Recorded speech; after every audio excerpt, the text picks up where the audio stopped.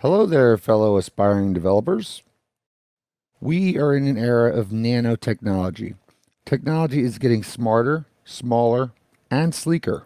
Remember those one ton computers and the revolutionary inventions to simpler and more efficient ones? Things like laptops, iPods, iPads, smartphones, and now the revolutionary Apple Watch. Indeed, an evolution made revolutionary. And this is all at your fingertips. Every time we use these amazing gadgets, we have ideas to implement and show the world. And as an Apple Watch developer, we have the tools to reach the world. So now, this is all made easy and accessible through this Apple Watch development course by Simplilearn. I, Jason Repko, will be your guide throughout the course. I'll share my knowledge and experience of over seven years with you so that you can be the best in the world.